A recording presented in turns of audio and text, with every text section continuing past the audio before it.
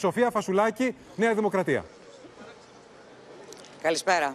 Σας άκουγα να προσπαθείτε να ψαρέψετε όλοι το Δημήτρη, αλλά δεν τα καταφέρατε. Πολύ.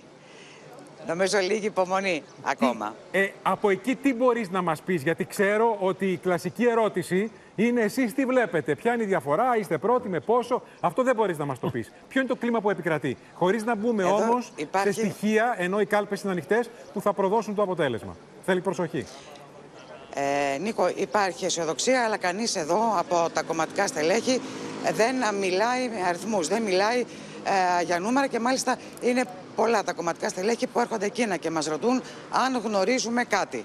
Ε, έτσι λοιπόν καταλαβαίνεις ότι ακόμα και αν γνώριζαν, νομίζω δεν θα διακινδύνευαν να πούν οτιδήποτε αυτή την ώρα, από τη στιγμή που οι κάλπες ακόμα δεν έχουν κλείσει. Πάντως, αυτό που μπορώ να σας πω είναι ότι υπάρχει αισιοδοξία.